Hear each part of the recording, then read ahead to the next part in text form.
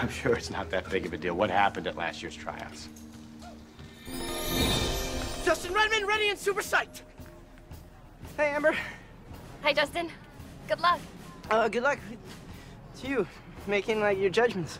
And from the girls' line, we need girl number double zero, Martha Johnstone.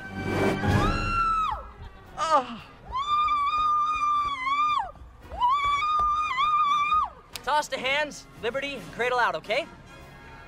I'm not wearing any panties. Oh. Ready? One, two. Liberty, ready?